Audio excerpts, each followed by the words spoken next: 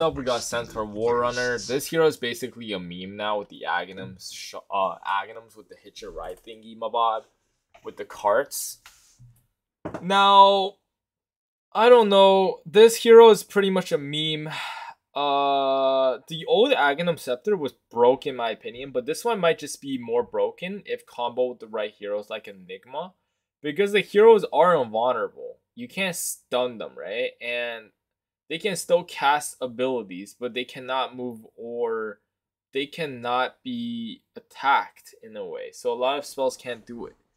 But all this hero is is that he's a hero that you don't want to hit him because of retaliate. And he's good against heroes that do fast attack speed but low damage.